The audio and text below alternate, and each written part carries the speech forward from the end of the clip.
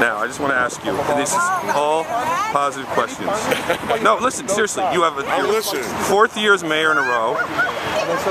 Another term on the township committee, I think what, most votes ever, or most votes this year, or something, right?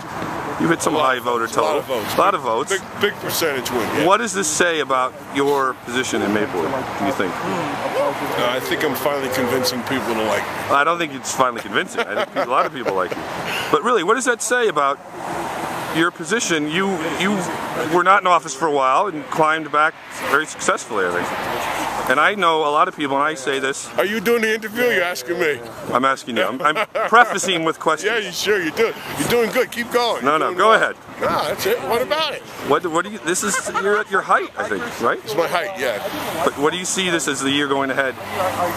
Better years than you've had a couple years ago. I, I think I said in, I said what I sent you in my state of Yes, which we posted. I, I said we're in, we hit the sweet spot. I think we're right here. Things are coming together. We're working well. Uh, I think the economy is going to incrementally get better, it's going to be positive for us. What about Springfield Avenue? You're here at a new Walgreens, Yeah, new 7-Eleven, a couple other things have been opened. Yeah, we got we just the planning board just approved the mixed-use building for across the street. Where across the street? Uh, the uh, across from the police station. Oh, yes. the old Okay. gas station there. So that's going to start. And the police station, old police station Old property. police station is going to start. We're going to close in May. We're starting to have a conversation about what the post office is going to look like in the future. Yes. So I think we're moving forward. We got uh, the Burnett Street uh, project starting, Universal Chain. So yep. What do you think will be the po- Jerry's post office? doing goofy stuff. What do you think the post office land would be best for? I think it would be perfect for a uh, jail for Jerry Ryan.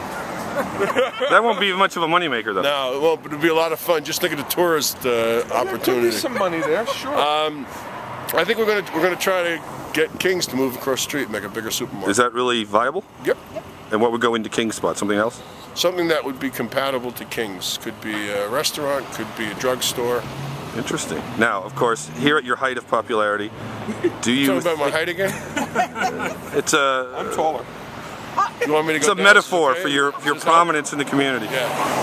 Higher office. I did. We could use somebody No, with uh, I'm fine. I'm with fine. lack of corruption and, and good things. Come Fine on. right here. Fine Essex right here. County Fine right leadership, please. Fine right here. Fair Fine enough. Right here.